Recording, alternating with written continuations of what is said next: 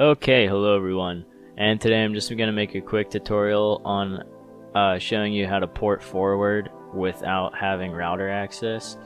And usually what you'd do is you'd go to CMD and then type in IP config, you know, whatever, get your default gateway, which would be, in my case, that.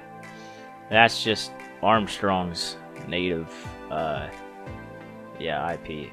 And then you go to your internet, type that in, press enter, oops. And it should work, but it says unable to connect. Never friggin' works for me. No matter how long or how long I've waited, I've called them, you just can't do it. So if you have the same problem I do, and you're in luck, then I'm going to show you how to do it. So what you're going to do is you're going to open up your file explorer. You're going to go on the left side, you're going to click network and wait for everything to load up. And under network infrastructure, your router should come up, whether you're connected wirelessly or wired.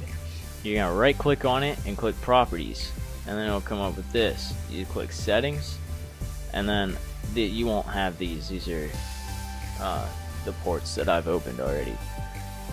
But you can go add and you can just add description, the IP, which would be your computer's IP, uh, your your IPv4, I think, or yeah, yeah, IPv4.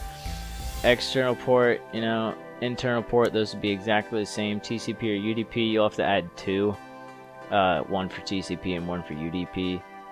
And like for example, I could just say like, uh, random port.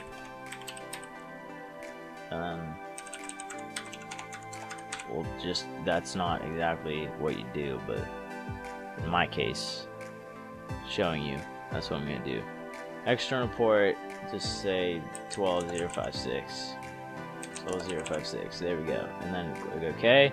Then you gotta add another one and do the same thing but for UDP. And then you can delete them if you need to, and you can edit them if you need to.